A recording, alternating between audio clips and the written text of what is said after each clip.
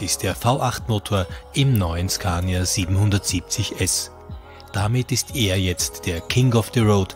Kein anderer Serien-LKW ist zum Testzeitpunkt stärker.